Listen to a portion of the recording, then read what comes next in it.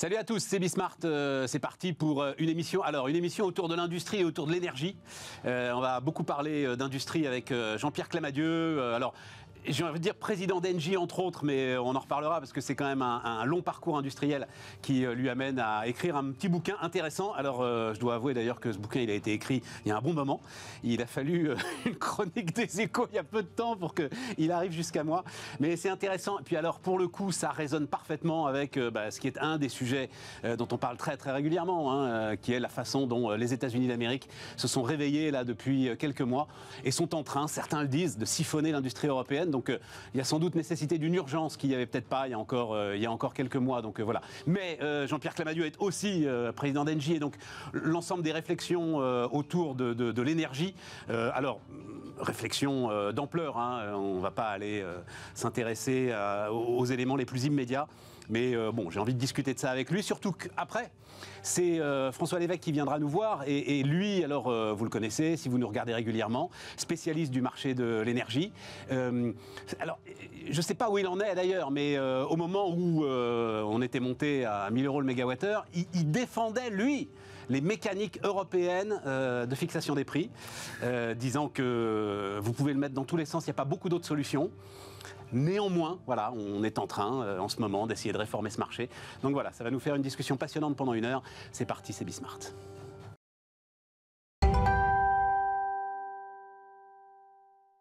Mais donc on démarre avec Jean-Pierre Clamadieu. Bonjour, euh, Jean-Pierre, merci euh, de venir nous voir. Oui, je le disais, c'est alors président d'Engie, oui, aujourd'hui.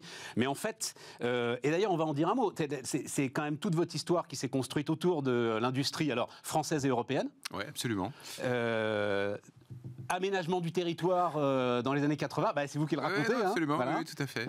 Cabinet de Martine Aubry. Absolument, restructuration industrielle à l'époque, bien sûr aussi euh, opération de développement dans, dans, un certain nombre de secteurs, et puis... Euh, le chimiste Rodia, voilà. L'industrie me, me, rattrape, si je puis dire, en me proposant de, de, venir travailler chez Rodia, donc industrie chimique, très, très grosse consommatrice d'énergie, d'où mon intérêt depuis longtemps sur ces sujets énergétiques, et puis je parcours un parcours euh, finalement qui m'amène au bout de quelques années à prendre la direction d'un Rodia en pleine crise, redressement de Rodia. Solvay vient frapper à la porte, propose euh, une OPA amicale sur, euh, sur Rodia et me propose de prendre la, tête du, groupe ainsi constitué. Et donc effectivement, pendant 7 ou 8 ans, j'étais à Bruxelles dirigeant un grand groupe mondial dans ses ambitions, mais européen par son histoire. Et J'en ai conçu quelques convictions. Et puis c'est vrai qu'à arriver à la soixantaine, je me suis dit c'est le moment de devenir non exécutif. Ça me donnera un petit peu plus de temps pour peut-être réfléchir, voire même écrire. En réalité, je, je suis un non exécutif assez actif.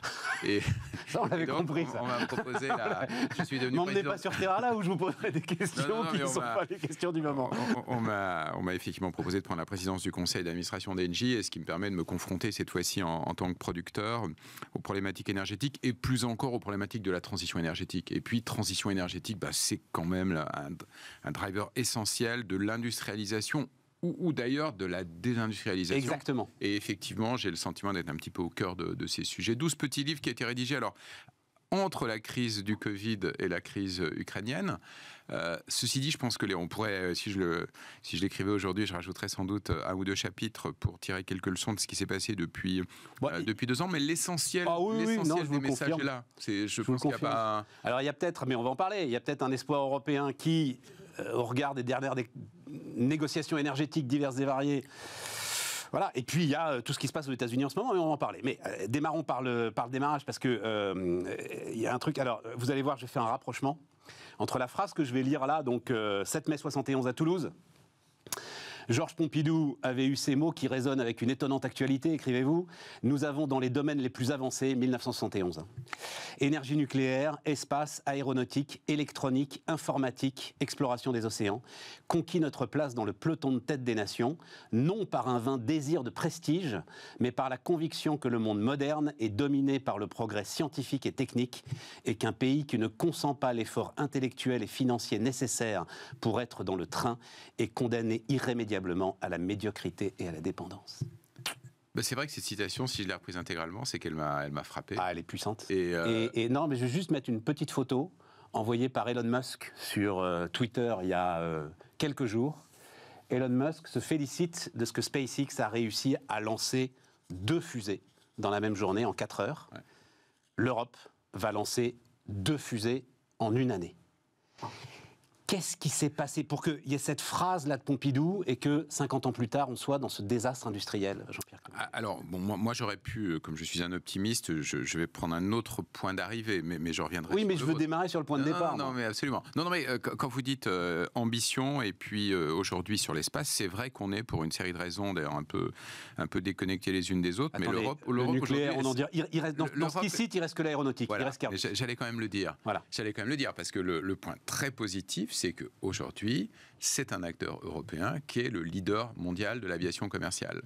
Euh, et Airbus fait aujourd'hui, enfin, prend plus de commandes que Boeing, fabrique chaque année et livre plus d'avions que Boeing, et je pense est devenu un leader incontesté sur les avions monocouloirs euh, et un, quelqu'un qui joue à, à, niveau égal avec Boeing sur, les avions, sur les avions long courrier. En revanche, dans le, dans le spatial, on est, euh, on est dans une période où l'Europe n'a pas de lanceur. Elle n'a pas de lanceur parce que Ariane 6 n'est pas prêt, parce que Vega a quelques difficultés. Jean-Pierre, on sent bien.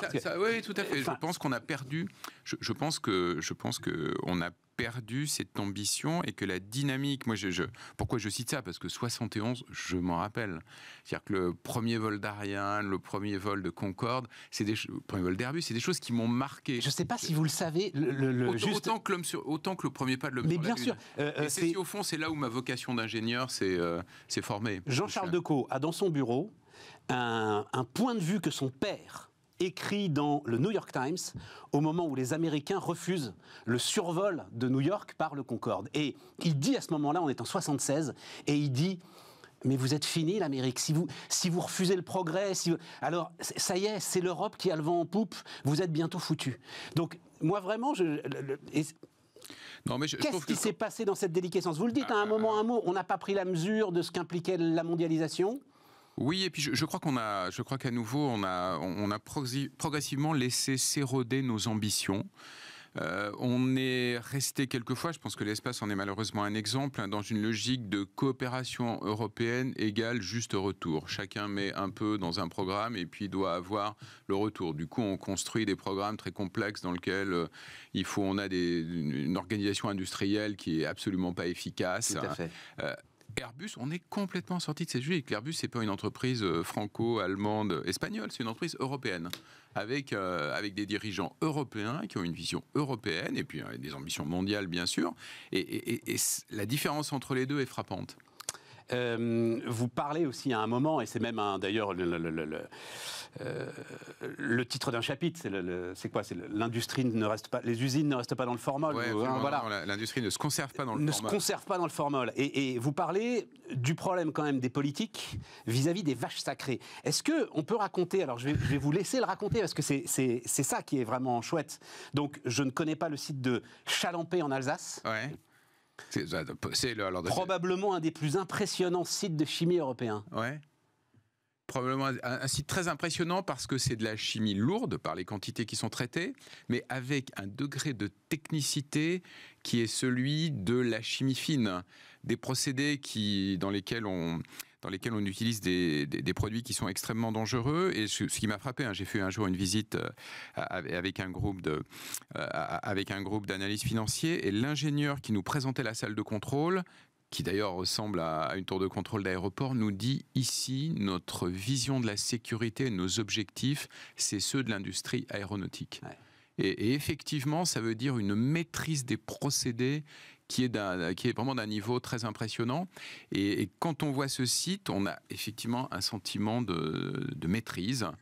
Et, euh, et c'est un site, en fait, c'est un des trois sites mondiaux qui fabriquent les intermédiaires nécessaires à la fabrication de nylon. Voilà. Et euh, alors, j'ai pas bien compris, c'est Solvay qui l'a vendu à BASF. C'est Solvay qui l'a vendu à voilà. BASF. Mais euh, ce que je comprends bien, vous dites, si j'avais été, euh, je suis belge, je peux le faire. Et donc, vous vous félicitez d'ailleurs de ce que BASF multiplie les investissements dans ce site incroyable. Mais vous avez l'air de dire, si j'avais été français, si j'avais été Rodier à ce moment-là, j'aurais eu sans doute un veto politique. Non, mais ce, que, je, ce, que je dis, c'est qu'effectivement, la vision, et on, la, la, lecture des journaux au quotidien nous le montre, euh, le fait que des usines se créent, mais que des usines disparaissent aussi, c'est la vie réelle du monde des affaires, c'est la vie réelle de l'industrie, c'est quelque chose qui n'est pas accepté et que quand effectivement on constate que bah, il faut se transformer, il faut remplacer un type de production par un autre, euh, on le gère souvent euh, sous la forme d'un drame. Et ça, il faut qu'on arrive à sortir de ça. Il faut qu'on accepte le fait que l'industrie doit évoluer. Les technologies évoluent, les demandes de nos clients évoluent, le, contexte réglementaire dans lequel on opère évolue, et donc il faut qu'on soit capable de faire évoluer nos activités. Et, il faut être capable de le, il faut être capable de créer rapidement des activités nouvelles pas si simple en Europe, on le voit sur un certain nombre d'exemples. Et puis, il faut être aussi capable de mettre un terme euh, à un certain nombre d'activités quand on considère qu'elles ne constitue plus un élément important pour l'entreprise qui les porte. Alors il faut qu'on le fasse avec responsabilité. Il faut qu'on le fasse en préparant l'évolution des, salariés qui sont impactés par cette, euh, par cette décision. L'évolution, si c'est une, c'est une opération importante, l'impact sur les collectivités. Mais il faut qu'on accepte que l'industrie, ça vit. Et c'est ça qu'on a du mal à accepter. Euh, dire, le, développement du TGV. Euh, le, le, enfin, comment je veux dire, je veux pas rentrer dans une polémique. Euh, je veux juste euh, comprendre. Euh, le nom de Martine Aubry, il est cité comme ça, mais à aucun moment, fondamentalement, vous mettez en cause les responsables politiques. et néanmoins, moi, quand j'entends les industriels expliquer ce qui s'est passé, c'est quand même un cocktail entre 35 heures, impôts de production et ce que vous décrivez, c'est-à-dire les vaches sacrées.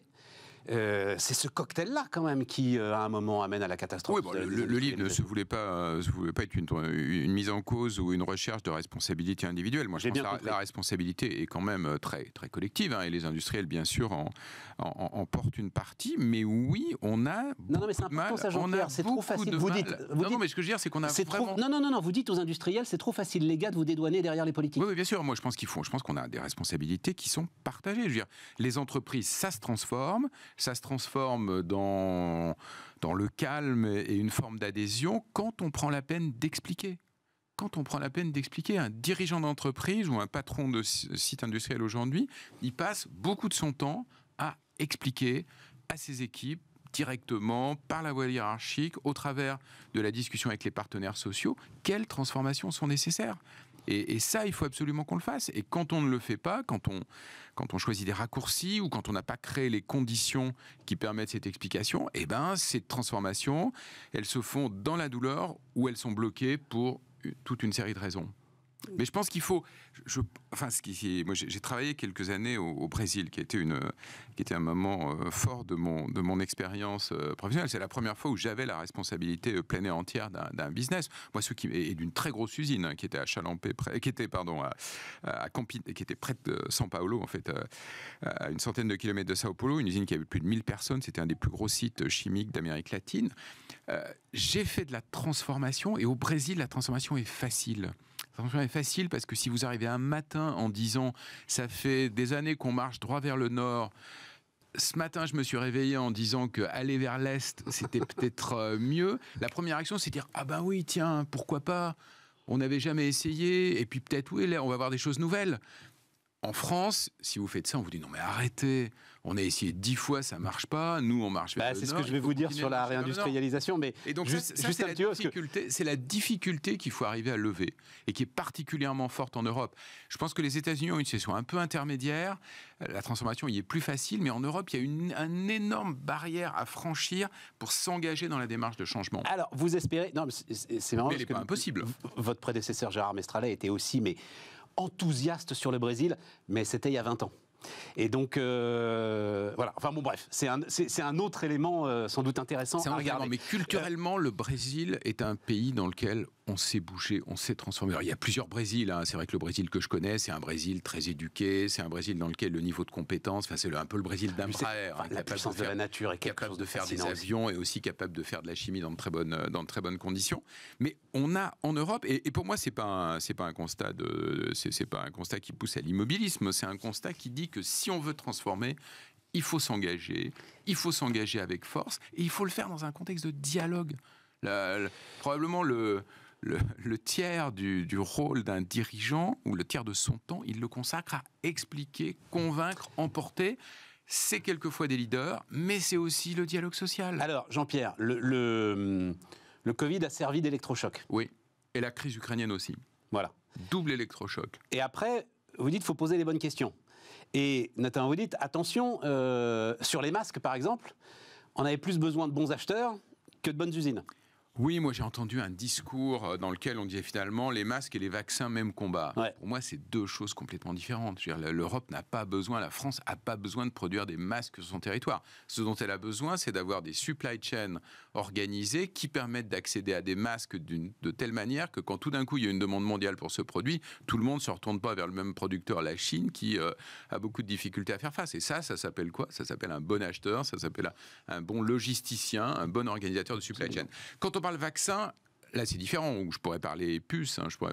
là il faut qu'on ait des savoir-faire, des compétences. On ne peut pas simplement se dire, quand il y a un problème demain, je vais aller acheter mes vaccins à droite ou à gauche. Non, il faut qu'on soit capable, en Europe, d'avoir les ressources qui permettent d'apporter une partie de la solution parce que c'est ça qui nous donne la capacité à aller chercher les autres blocs, et c'est ça qui nous permet de réagir rapidement. Une partie de la solution. Oui, parce que moi je crois pas qu'on, moi je crois pas à une Europe euh, qui soit fermée et qui dise je vais tout faire chez moi. Ouais. C'est pas possible, même sur les vaccins. Mm. Euh, mais il faut qu'on ait le savoir-faire, il faut qu'on l'utilise. Et il y a des domaines dans lesquels on est dans une situation très très très particulière. Les chips aujourd'hui. Tous semi-conducteurs. Hein. Tous les semi-conducteurs, pardon. Ils sont fabriqués en tout cas les, plus, les, versions les plus avancées, à partir de machines qui sont fabriquées par une entreprise qui était totalement inconnue il y a 3-4 ans, euh, qui s'appelle ASML, euh, qui est une entreprise néerlandaise, qui a une capitalisation boursière qui est de l'ordre de celle d'Airbus aujourd'hui.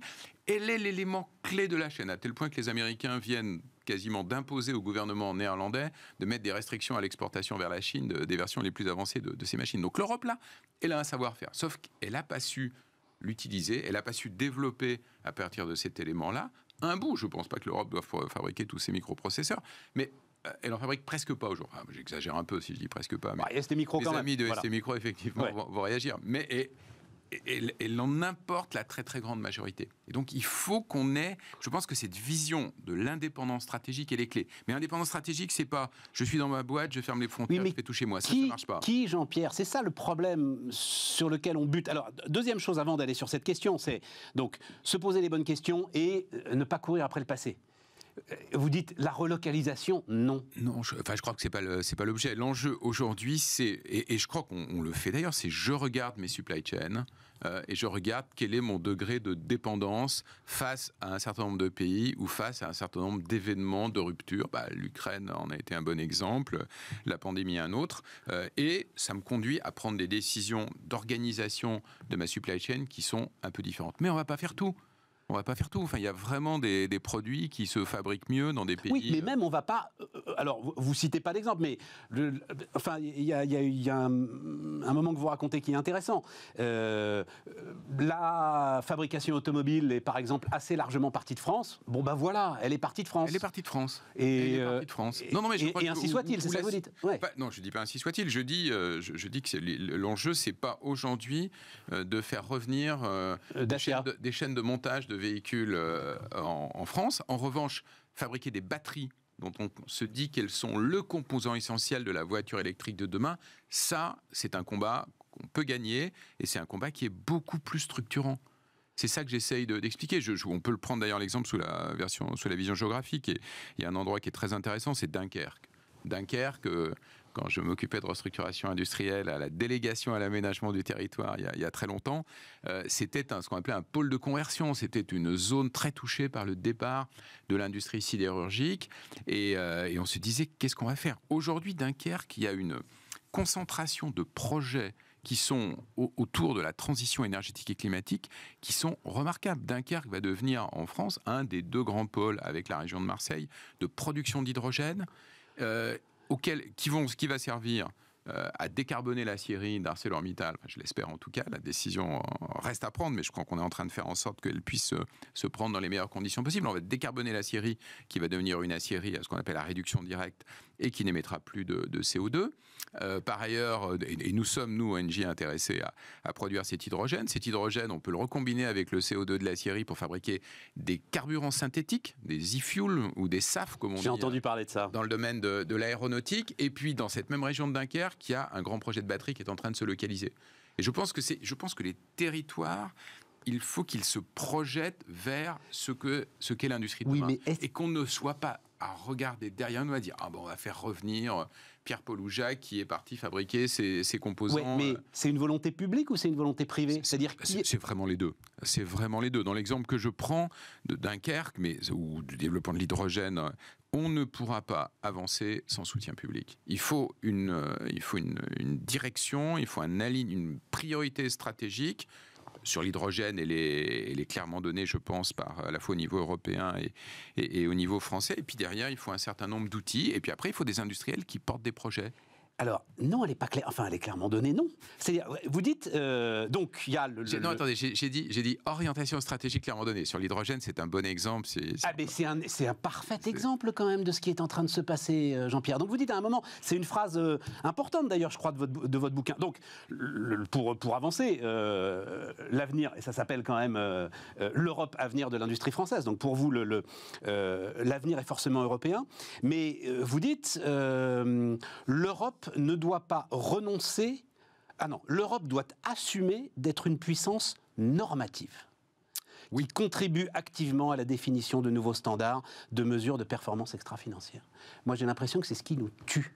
Et aujourd'hui, cette invraisemblable et interminable discussion autour du rôle du nucléaire, notamment dans l'hydrogène, est sans doute le symbole de tout ce qui freine aujourd'hui notre, euh, notre Alors, je réindustrialisation. vais développer, c'est probablement un point que je, je- je développerai si je réécrivais Si- ouais. aujourd'hui ce, ce livre au vu de ce qui s'est passé depuis, euh, depuis 18 mois.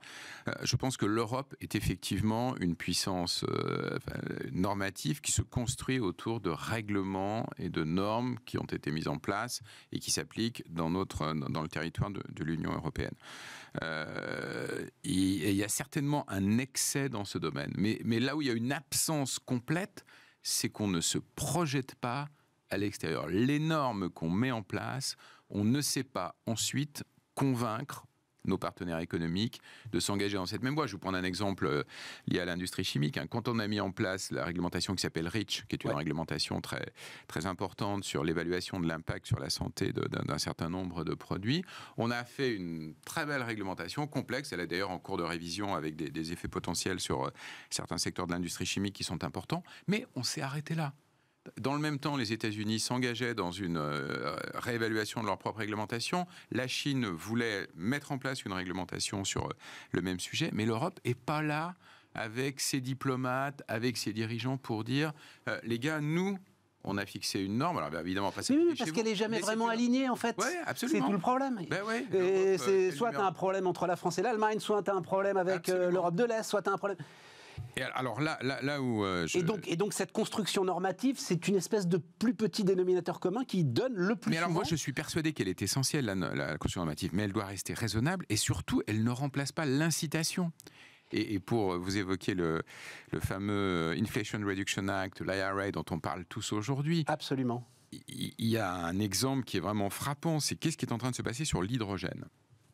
Sur l'hydrogène, je pense qu'il y a une conviction assez large que l'hydrogène est un vecteur énergétique qui a des caractéristiques telles, en particulier en, manière, en matière de transport, en matière de stockage, euh, et puis des utilisations dans certains secteurs d'activité, en gros la décarbonation de l'industrie lourde et le transport lourd, qui en font un élément important dans nos systèmes énergétiques en pleine transformation Absolument. une sorte de complément de l'électricité pour euh, produire Accélérer de la décarbonation, accélérer la décarbonation et puis faire face aux intermittences des, aux intermittences des usages. Euh, simplement, aujourd'hui, l'hydrogène vert, ça coûte quelques euros de plus, on va dire 5 ou 6 euros de plus à produire que de l'hydrogène produit à partir de gaz, euh, produit à partir de gaz fossile. Et donc face à ça, qu'est-ce qui se passe? Ben, En Europe, ça fait deux ans, trois ans qu'on discute euh, avec plein de gens très intelligents autour de la table sur la définition de l'hydrogène vert. C'est quoi de l'hydrogène vert? Est-ce qu'il y a du nucléaire? Est-ce qu'il y a est nucléaire ou pas? Voilà, Quelle couleur exacte? Oh, oh, il y a, On a quatre couleurs là aujourd'hui mais d'hydrogène quand même. C'est magnifique. hein. C'est un, un stylo hein. bic euh, comme à l'école. concept d'additionnalité pour que de l'hydrogène soit vert, il faut qu'il soit produit à partir d'électricité verte qui n'ait pas fait l'objet elle-même d'un- soutien public. Enfin bref, un, un espèce d'usine à gaz très compliquée. La bonne nouvelle, la Commission a finalement, mais il y a, il y a un mois et sans doute pour les raisons que je vais expliquer sur quant à ce qui se passe aux États-Unis, la, Commission a finalement mis sur la table un document plutôt pragmatique, même si sur l'hydrogène, il, est, il fait, il fait pas l'objet d'un consensus spontané entre les États membres. Bah, et aux États-Unis. Aux États-Unis? Voilà. Eh ben, euh, sans que personne ne le, en cas en Europe, ne, ne, l'ait perçu, en une nuit, on a ajouté dans l'Inflation Reduction Act une disposition qui doit faire euh, une page ou deux, qui dit quand vous produisez de l'hydrogène, dès lors que la, quantité de CO2 associée à cette production est inférieure à, à un chiffre, vous avez un crédit d'impôt de 3 dollars par kilo. Je peux vous dire que j'étais en juin dernier aux États-Unis où je faisais le point avec mes équipes sur les projets hydrogène. Je me on a pas mal d'idées, là, il y a 10, 15 projets qui pourraient être intéressants, mais les économiques, on n'y est pas.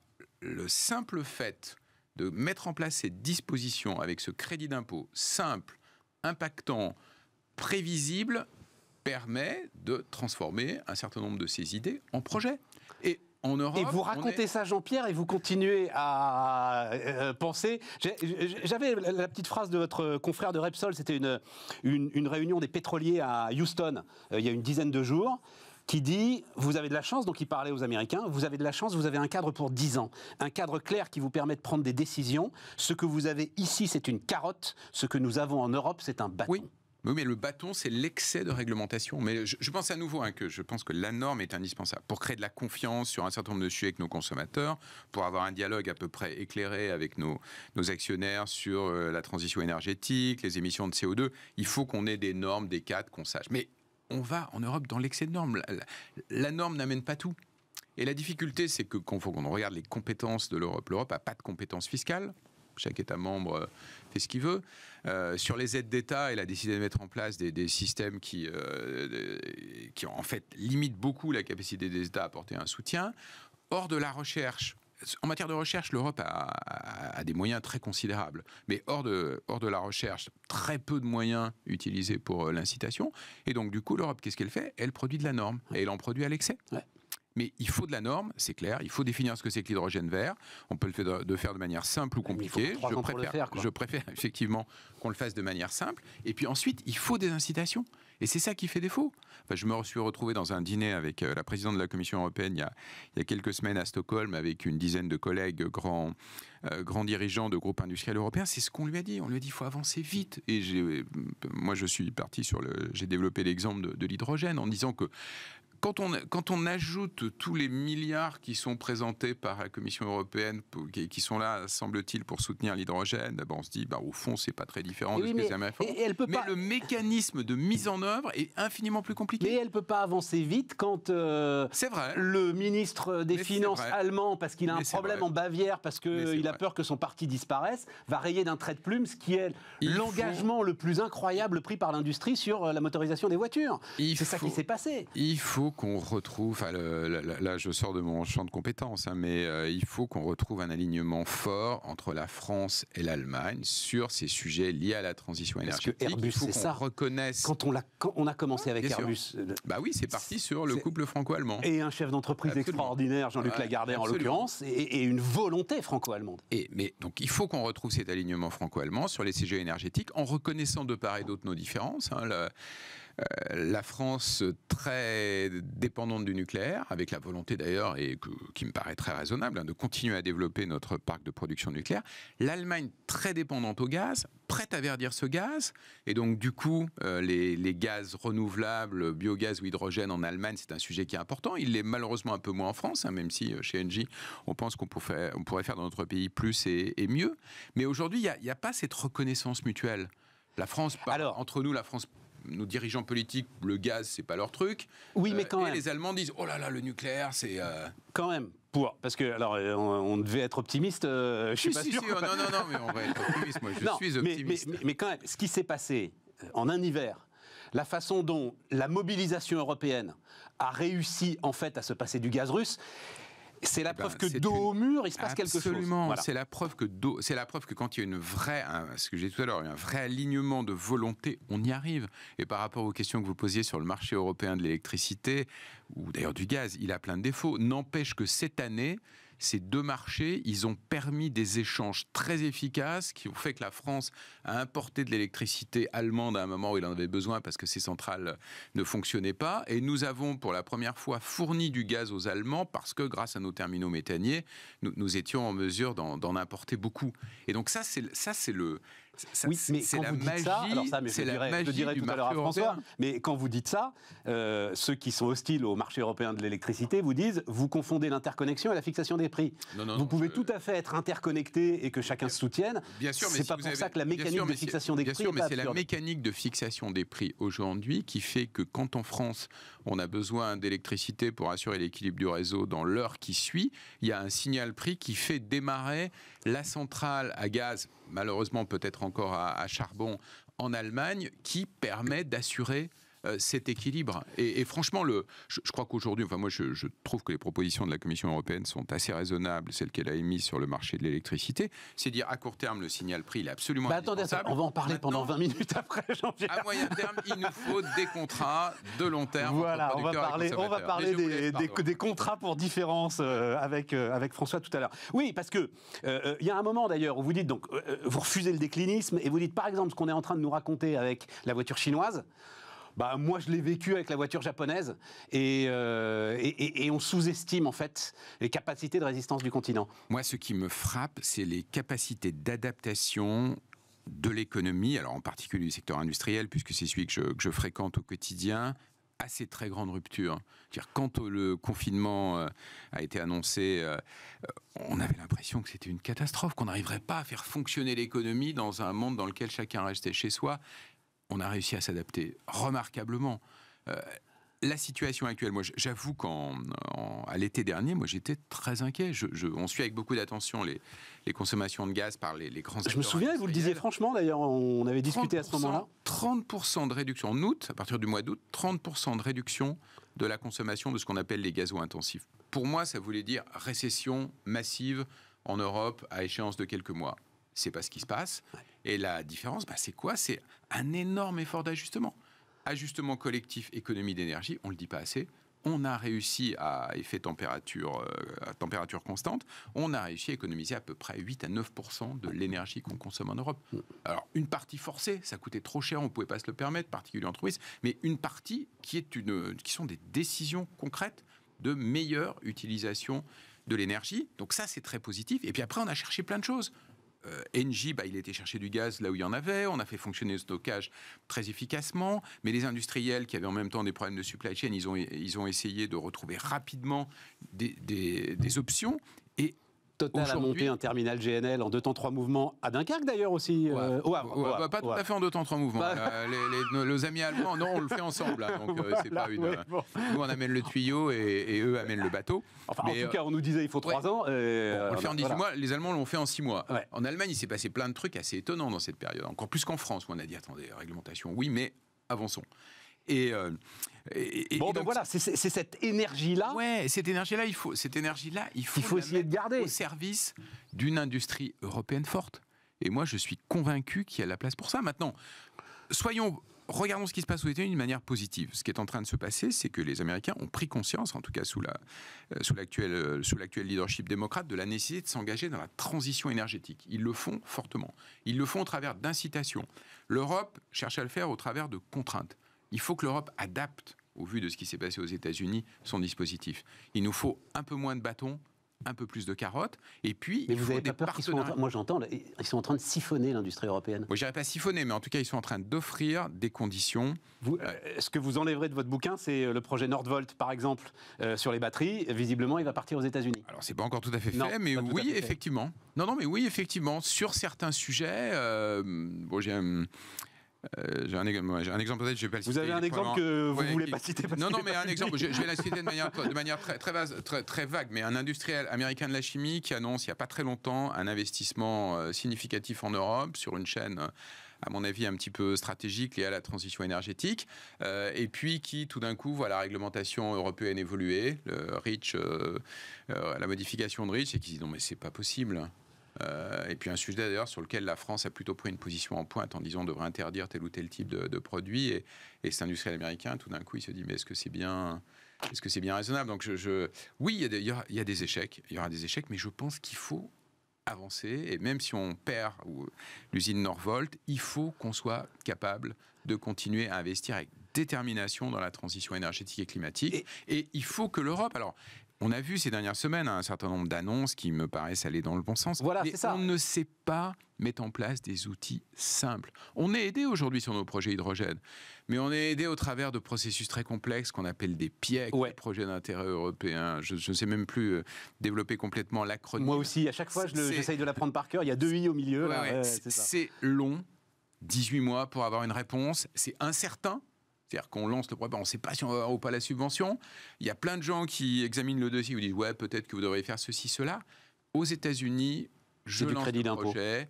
Dès lors que je réponds à un critère simple, contenu en CO2 de mon hydrogène, je reçois un crédit d'impôt, je mets ça dans mon business plan et je passe d'un projet qui est une bonne idée mais qu'on ne sait pas euh, financer à un projet sur lequel on lance un investissement. Bon. Donc c'est dans cette voie qu'il faut aller. Et espérons que l'aiguillon, l'épée euh, américaine, voilà, va, hein, un petit peu comme ce qui s'est passé avec le gaz russe. Absolument. Va, nous obliger à un sursaut et un rebond. Merci euh, Jean-Pierre. Donc Jean-Pierre Clamadieu, voilà, ça s'appelle donc l'Europe avenir de l'industrie française, presque envie de dire envers et contre tout après cette interview. Voilà.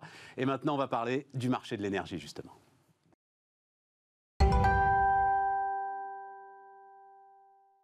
Et donc, bah, on continue avec François Lévesque. Salut euh, François. Bonjour Stéphane. Euh, donc, euh, économiste, prof à l'école des mines, spécialiste du marché de l'énergie, de l'électricité, etc. Donc, Jean-Pierre Clamadieu, qui était avant toi ingénieur du corps des mines lui aussi, tu me l'as appris, était parfaitement... Parce que j'ai mis réformer le marché de l'énergie, mais je crois que tu vas me répondre, mais pourquoi faire?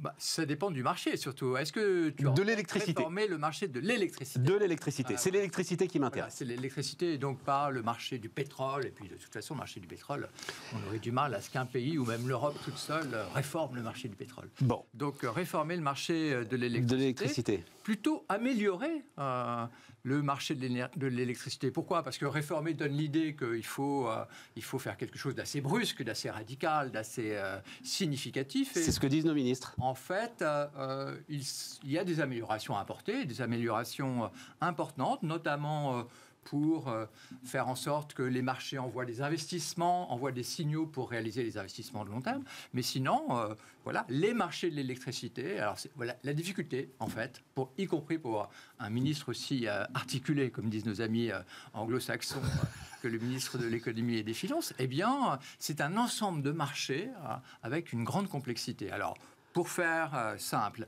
et pour distinguer, il y a il faut distinguer le marché de gros et le marché de détail. Donc, un marché de gros, euh, vous comprenez ce que c'est. Euh, il y a des grands consommateurs, par exemple des industriels, qui achètent des grandes quantités d'électricité sur ce marché de gros. Et puis, euh, il y a des producteurs d'électricité qui vendent sur ce marché de gros de l'électricité. En général, la veille pour le lendemain. Donc, c'est un marché de court terme. Et puis, il y a le marché. Attends, attends, attends, attends. Alors, déjà, tu m'apprends un truc. Marché de gros, j'en sais rien, moi. Les électro-intensifs, les gars qui font de l'aluminium, par exemple.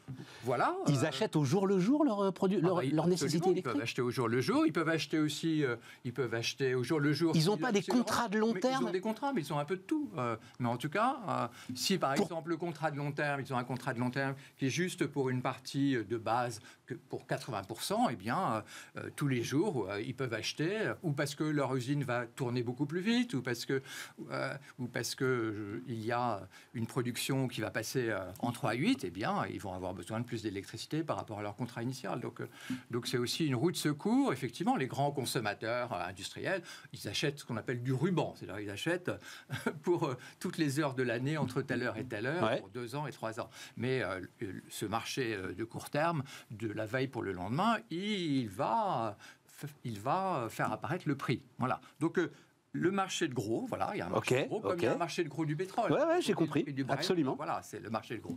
Et puis le marché de détail, et, euh, donc le marché de détail, eh bien, ce sont des fournisseurs comme Total Energy, EDF, qui passent des contrats avec le consommateur, avec des ménages, aussi avec des artisans, aussi avec des industriels qui, eux, ne veulent pas forcément acheter sur le marché de gros.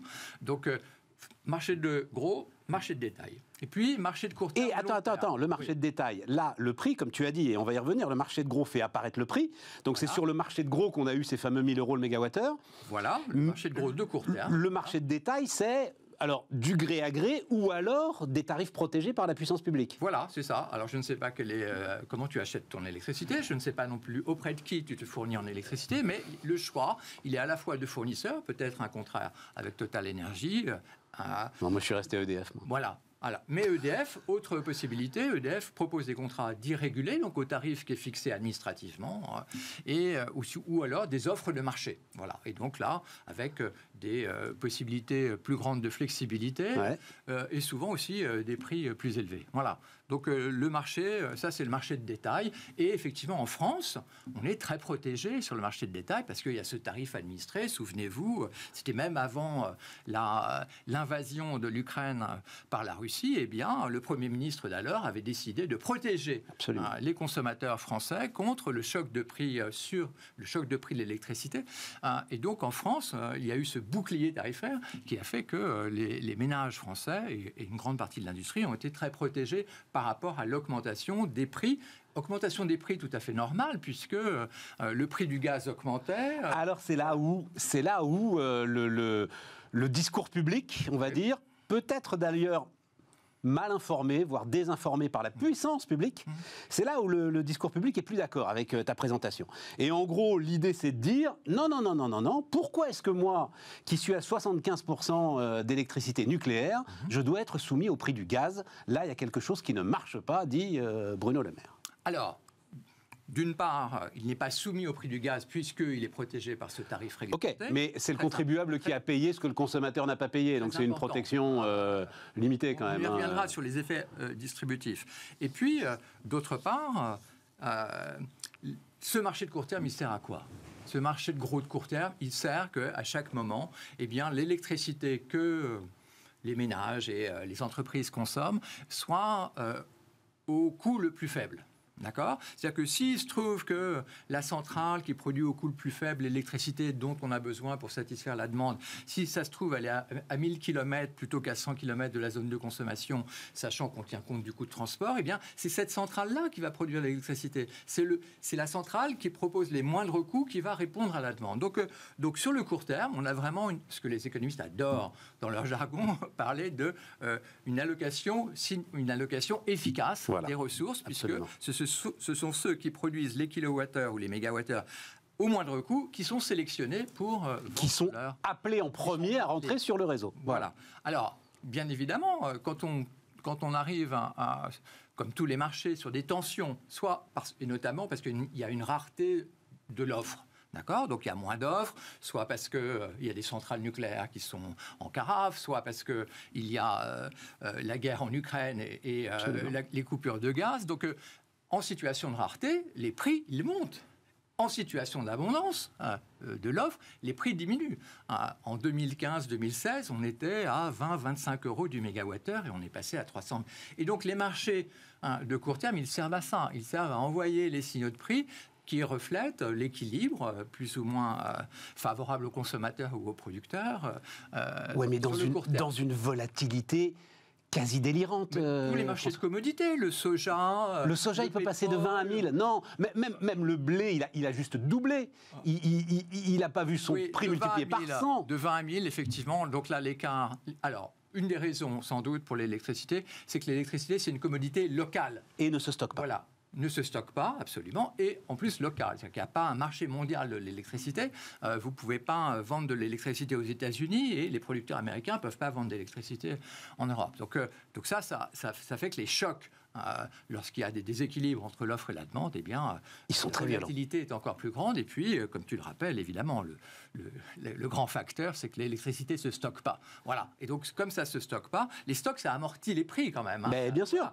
Euh, ça amortit les fluctuations de prix. Alors, mais pour revenir, pourquoi les Français achèteraient-ils leur électricité à, à un prix plus bas Parce que euh, l'électricité qui est produite en France est, une électricité électronucléaire avec un coût de production euh, bas, euh, et en tout cas est nettement plus bas que euh, le mégawattheure produit par euh, une centrale thermique. Bah, je vais te répondre, moi, euh, François. C'est parce qu'on a financé euh, ces équipements Les- et que donc on est quelque part Alors- tous un peu actionnaires d'EDF et donc on récupère Moi, le bénéfice de notre financement. pas cette situation-là. Pourquoi? Alors effectivement, les consommateurs français, et non pas les contribuables, hein, les consommateurs français ont payé le parc nucléaire. Bon. Mais euh, euh, le, pourquoi je ne voudrais pas de cette situation? Je ne voudrais pas de cette situation parce que le marché européen nous apporte une sécurité invraisemblable. Qu'est-ce qui s'est passé lorsqu'il y a presque un tiers des centrales nucléaires qui sont tombées en carafe? Eh bien, grâce au marché européen, on a pu s'approvisionner euh, auprès, euh, auprès de l'Allemagne, auprès, auprès d'autres producteurs, auprès d'autres pays en électricité. On a importé massivement l'électricité. Et donc, si on veut que les Français euh, bénéficient de l'électricité qu'ils qui, considèrent comme le leur, euh, ou la leur plutôt, euh, parce que produite sur place, eh bien, il faut fermer la frontière électrique. Vous fermez les frontières électriques en Europe, bonjour les dégâts. bonjour les dégâts en termes de sécurité d'approvisionnement. On va te répondre, tu confonds l'interconnexion nécessaire et effectivement l'entraide euh, qu'on a vue entre la France et l'Allemagne, même entre la France, l'Allemagne et l'Angleterre d'ailleurs, hein, qui est sortie de l'Union européenne, mais qui reste interconnectée et qui a fonctionné avec nous sur l'interconnexion et non pas le mécanisme de fixation des prix le mécanisme de fixation des prix, il est très bien ce mécanisme de fixation des prix sur le, marché de gros, puisqu'il réalise ce qu'on cherche de minimiser les coûts hein, euh, pour euh, les consommateurs. Et les marchés, ils servent là pour révéler de la rareté ou pour révéler de l'abondance. Alors, il y a la question de la redistribution. La question de la redistribution est une question légitime, mais différente. On peut très bien imaginer que euh, que le marché de gros, on n'intervient pas, que la France n'intervienne pas euh, sur le prix du marché de gros, mais qu'en revanche, lorsque euh, le prix de l'électricité est très élevé en France et que, des producteurs en France vont produire, disons, avec, le, avec la rémunération du capital à 50 euros du mégawattheure et le prix de marché est à 300 euros, Absolument. rien n'empêche rien n'empêche un gouvernement de prélever sous forme de taxes euh, ce surprofit euh, ce, qui ce qui s'est passé d'ailleurs. Voilà, ce qui s'est passé en Pour les énergies renouvelables. Voilà. Et donc, et donc euh, mais il faut, il faut pas, il faut pas mettre la main dans un marché de gros de court terme qui fonctionne, d'accord, pour prélever des profits euh, et pour profiter des surprofits et euh, pour euh, amortir le choc pour les consommateurs. Parce que pour être très clair, distributif, c'est très bien. Non, non, mais on va y aller. Mais je, veux juste pour être très par le marché. pour être très clair sur l'efficacité du marché. Si à un moment t'es pas terme. Es, de court terme, si à un moment t'es pas à 1000 euros le mégawattheure, la centrale à gaz ne démarrera pas parce qu'elle sera pas rentable. Et donc là, t'as pas assez d'électricité et donc là, c'est le blackout. Voilà. C'est aussi simple que ça. Voilà, absolument. Donc, donc euh, c'est pour ça que euh, le prix relève le fait que y a vous avez une demande et une demande solvable. Il y a des gens qui ont acheté de l'électricité, enfin, il y a des traders qui ont acheté de l'électricité à 900 euros ou à 1000 euros du mégawattheure. Donc c'est pour aller, pour aller euh, remplir, satisfaire cette dernière partie de la demande. Et donc, quand c'est à 1000 euros, même ceux qui produisent à 100 euros, ils vont empocher 900 euros. Absolument. Eh bien, dans les rares cas, parce que historiquement c'est quand même assez, euh, assez peu courant que le marché soit à, 1000 euros, eh bien dans ces cas-là, et si, ça dure un peu longtemps, eh bien, et qu'on est préoccupé par les effets redistributifs, eh bien, euh, on passe par au-dessus, on met pas les mains dans le marché euh, en train de le triturer, mais on passe par au-dessus et on met en place une taxe sur ses surprofits ou sur ses rentes. Voilà ce qui s'est fait d'ailleurs en France, euh, enfin ce qui était des contrats passés historiquement en fait, avec euh, ceux qui ont installé les éoliennes et, les fermes solaires. Euh, ils ont bénéficié d'une forme de rente pendant de très nombreuses années, et, là l'État a récupéré, je crois que c'est 17 ou 18 milliards d'euros, enfin c'est quelque chose de considérable. Et vous n'aurez jamais d'économistes, à mon avis, hein, qui vous diront il ne faut jamais taxer les surprofits. Quand il y a, quand il y a un surprofit qui vient du ciel, d'accord, c'est-à-dire qu'il ne correspond à aucun mérite, a aucun mérite euh, dans le choix des technologies, a aucun mérite euh, dans les investissements, eh bien, euh, ce qui tombe du ciel, et, lorsque ça a des effets très défavorables hein, sur les ménages ou sur les entreprises, eh bien, vous capturez les surprofits. Alors, tu as dit en commençant d'ailleurs, la Commission européenne, d'ailleurs, bon, j'ai bien compris, ne veut pas toucher à ce mécanisme qu'on vient de décrire là, de manière très claire. De court terme. Mais il y a plein d'autres choses. Exactement. Et, et notamment, il y a l'idée donc d'essayer d'envoyer des signaux, comme tu l'as dit, pour permettre aux industriels d'investir. Voilà. Et donc là, c'est cette question de contrat de long terme, terme un peu technique, mhm. euh, contrat pour différence. Est-ce que tu aussi, c'est pas tout à fait la même chose? Est-ce que tu peux nous expliquer là un petit peu ce qui se passe? Bon, les contrats de long terme, c'est ben voilà, euh, Stéphane, est-ce que tu veux signer pour moi euh, Tu es un producteur d'énergie. est-ce que tu acceptes de signer pour moi de me fournir 1000 mégawattheures au cours des cinq prochaines années avec tant, temps par jour à tel prix ah, on va négocier. Il va me dire non, je veux un prix plus élevé, etc. On tombe d'accord. Évidemment, c'est un gros contrat un peu compliqué. Hein, on tombe d'accord. Et donc là, on a un contrat de long terme qui, moi, grand consommateur, va me protéger par exemple, je suis un industriel, eh bien, voilà, j'ai une, certitude sur le long terme euh, d'avoir pendant 10 ans euh, tel prix euh, de l'électricité. Et puis toi, tu as un, un, débouché, parce que des fois, le prix de l'électricité est très très bas. Absolument. voilà. Et donc ça, c'est le contrat de long terme. bon, il y, a, des contrats de long terme un peu plus sioux qui s'appellent, ou plus compliqués, qui s'appellent le contrat pour différence, où là, c'est l'État qui s'engage. Voilà. L'État qui s'engage. Et, le Royaume-Uni, d'ailleurs, a mis ça en place. Ils ont mis ça en place pour la centrale nucléaire d'Inkley Point, notamment. Alors, comment ça marche?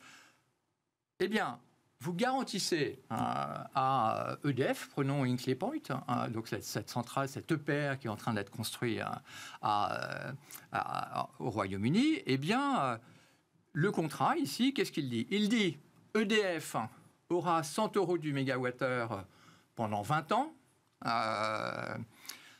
si le prix du marché de gros, il est à 50 euros, EDF va à ce moment-là euh, va à ce moment-là rembourser 50 euros euh, à la caisse euh, du Royaume-Uni et inversement, enfin, c'est, plutôt le contraire, si le marché de gros est à 150 euros, eh bien, c'est EDF qui paye 50 euros au budget, au trésor au Royaume-Uni et si le marché du gros est à 50 euros, eh bien, EDF Hinkley Point va vendre à 50 euros, mais il est pas, ce qui est garanti, c'est les 100. voilà, c'est, c'est le Trésor qui lui donne 50 euros du mégawattheure. Et donc, et donc, c'est un système qui permet de ne pas euh, foutre en l'air, pardonnez-moi l'expression, parce que c'est une, splendeur quand même, ce marché de court terme de l'électricité.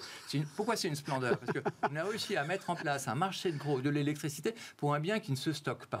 Donc c'est vraiment... Euh, alors c'est complexe, mais... Et on a réussi, voilà, euh, l'Europe a réussi à faire ça. Et donc, on ne touche pas à ça. En revanche, eh bien... EDF euh, e ici a bénéficié à travers ce contrat pour différence d'un bon signal d'investissement. C'est ça. calcule son coût, euh, voilà, voilà. Il y a une forme de garantie, il y a une forme de, c'est une forme de concession finalement euh, aussi quelque part. Oui, voilà, c'est à peu près la même mécanique. Articulée à un prix de marché, voilà. et le prix de marché, c'est le prix de gros euh, de l'électricité. Et c'est bien que ce soit l'État qui, fasse, qui fasse ça, ou est-ce que ça pourrait être, c'est euh, Erwan Tison qui vient nous voir régulièrement, qui dit aujourd'hui c'est tellement important qu'il faudrait une sorte de banque centrale de l'électricité, et que ce soit à l'échelle européenne, en fait, une agence totalement indépendante, un peu comme la BCE, mhm. qui passe ces contrats. Euh, bah, c'est un détail pour toi?